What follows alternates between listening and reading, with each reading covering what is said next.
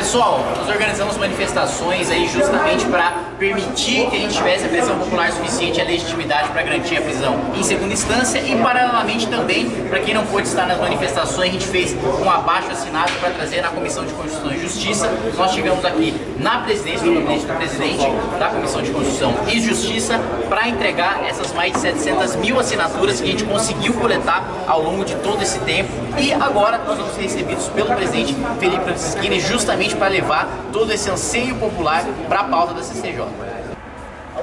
Ó. Chegando a CCJ. Então já leva mais, né? Nosso presidente Francisquini e colocamos uma fonte bem pequenininha que é para é dar para entregar, economizar papel.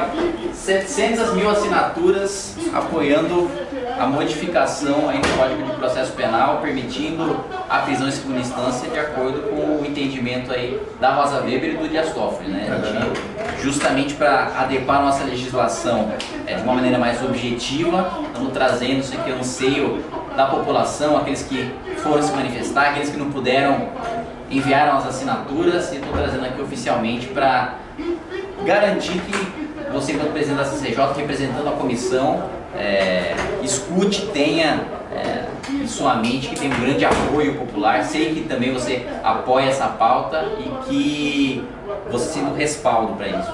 Com certeza, apenas agradecer uh, tanto o MBL, os movimentos de rua, o Kim está trazendo hoje, as assinaturas. É muito importante, nós sentimos aqui na prática todos os dias, o quão importante é o apoio da população brasileira nesses projetos. Todos nós sabemos que se não houver apoio popular, não vão para frente e não conseguiremos tramitar. Então hoje, graças a Deus, encerraremos a discussão, mais de 100 deputados inscritos, então já será um termômetro para saber quais são favoráveis e quais são os contrários. E terça-feira, definitivamente, votaremos essa questão e já montaremos a comissão especial para poder tramitar o mais rapidamente possível. Então agradecer realmente, Kim, é, por trazer esse apoio popular aqui para a Câmara. Vamos conscientizar os deputados mostrando isso aqui, que é um clamor da população.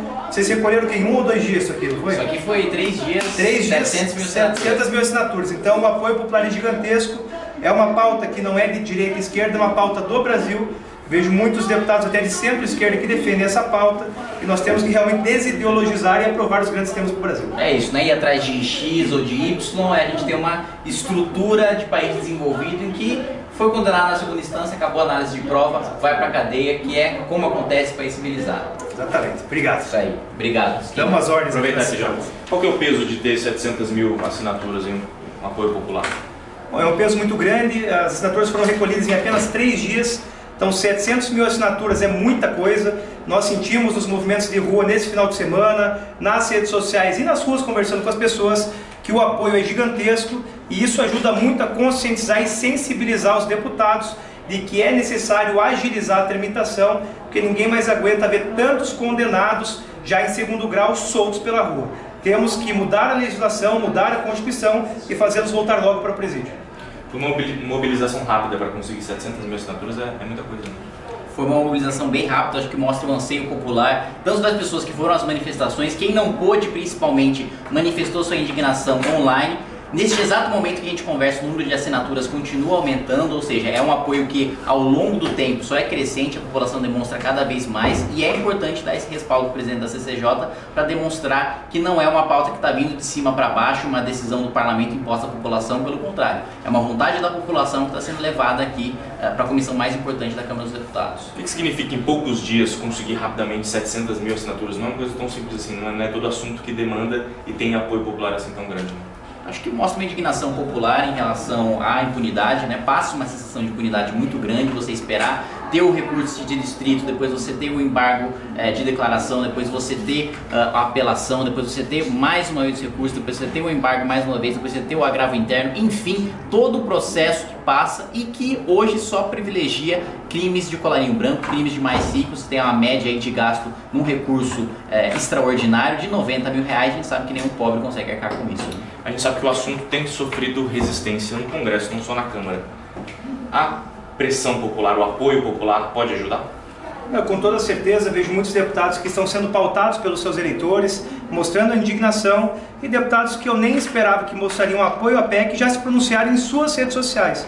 Então esse apoio da população não só no projeto da segunda instância, mas em outros projetos como as reformas econômicas e estruturantes é muito importante para que possamos agilizar e aprovar logo aqui no Congresso Nacional.